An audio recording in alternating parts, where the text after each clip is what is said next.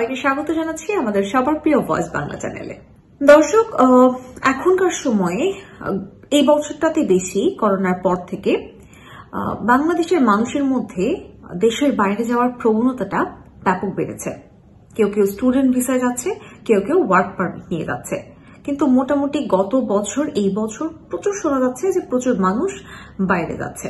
ভারতে একটা ঘটনা ঘটে যে আমি খুব সঠিকভাবে জানি না, কিন্তু এরকম একটা ভিডিও দেখছিলাম যে এক লোক বলছে, সে কানাডাতে গেছে, কানাডাতে সেটেল হয়েছে, এরপর কানাডার সিটিজেনশিপ যখন নিবে, তখন সে মানে বলল যে আমি যদি কানাডার সিটিজেনশিপ নিতে চাই তাহলে আমাকে ভারতের সিটিজেনশিপ বাতিল করতে হবে। অর্থাৎ ভারত তার সিটিজেনদেরকে তাদের নাগরিককে, অন্য কোনো দেশে গিয়ে নাগরিকত্ব নিতে বাধা প্রদান করে। যে তুমি যদি ওখানকার নাগরিকত্ব নাও, তাহলে তুমি আমার দেশে নাগরিকত্ব হারাবে। বাংলাদেশ এই দিক থেকে খুবই বন্ধুত্বপূর্ণ একটা আচরণ করে। বাংলাদেশে এই ধরনের কোনো রেস্ট্রিকশন নেই। একটি সুখবর এসেছে এই সংক্রান্ত। পড়তে গিয়ে খুবই ভালো লাগল। ভাবলাম আপনাদেরকে জানানো উচিত। খবরটি নিয়ে এসেছি। এটি এসেছে প্রথম আলোতে। খবরটি এরকম ছিল যে বাংলাদেশিদের জন্য দ্বৈত নাগরিকত্বের সুযোগ আরও বাড়ানোর সিদ্ধান্ত নিয়েছে সরকার। নতুন সিদ্ধান্ত অনুযায়ী আরও চুয়াল্লিশটি দেশের নাগরিক হওয়ার পাশাপাশি বাংলাদেশের নাগরিকত্ব অব্যাহত রাখা যাবে। অর্থাৎ আপনি নতুন আরও চুয়াল্লিশটি দেশের নাম এসেছে যেখানে আপনি যেসব দেশের নাগরিক হলেও বাংলাদেশের নাগরিকত্ব বজায় রাখতে পারবেন। কারণ আমরা আসলে কেউ এক্সপেক্ট করি না যে অন্য নতুন একটা দেশকে পাওয়ার জন্য নিজের দেশ, নিজের মাতৃভূমিকে হারাতে হবে। এটা আসলে আমাদের কারোরই কাম্য নয়। তো বাংলাদেশ এই সুযোগটা তাদের নাগরিকদেরকে দিচ্ছে। বর্তমানে আমেরিকা এবং ইউরোপের সাতান্নটি দেশের নাগরিক হলে দ্বৈত নাগরিকত্বের সুযোগ পান বাংলাদেশিরা। অলরেডি সাতান্নটি দেশের নাগরিকত্বের সুযোগ আমাদের আছে, যার সাথে সাথে আমরা বাংলাদেশেও নাগরিক থাকতে পারব।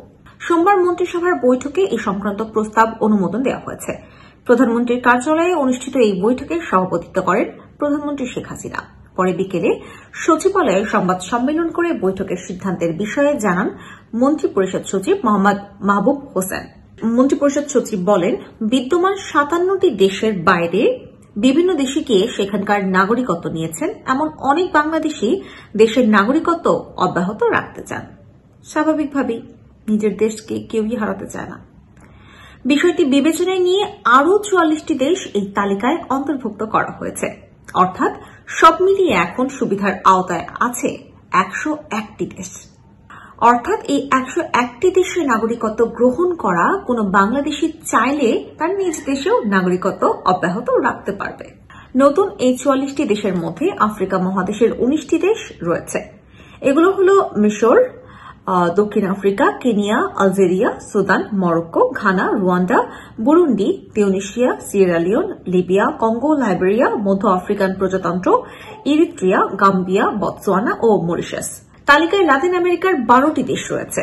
আমেরিকা বহুল কাঙ্ক্ষিত একটি দেশ, মোটামুটি পৃথিবীর সব দেশের মানুষের জন্য।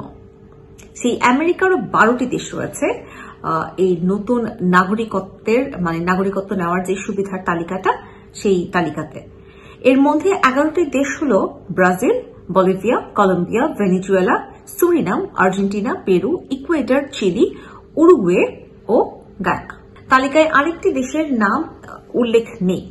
ক্যারিবীয় অঞ্চলের বারোটি দেশ আছে নতুন তালিকায়। দেশগুলো হল কিউবা, ডমিনিকান প্রজাতন্ত্র, হাইতি, বাহামা জামাইকা ত্রিনিদাদ ও Tobago, Dominica, Saint Lucia, Barbados Saint Vincent ও গ্রেনাডা ও সেন্ট কিটিস কিটস আর ওশেনিয়া মহাদেশের একটি দেশ নতুন তালিকায় রয়েছে, সেটি হল ফিজি। দর্শক, খবরটি কিন্তু দারুণ লাগছে আমার কাছে। যারা দেশের বাইরে যাওয়ার জন্য ভাবছেন, যে কোনো একটি দেশে সুইচ করতে চাচ্ছেন, কিন্তু খুঁজে পাচ্ছে না কোন কোন দেশে যাবেন অলরেডি সাতান্নটি দেশ তালিকায় ছিলই আরও চুয়াল্লিশটি দেশ অ্যাড হয়েছে।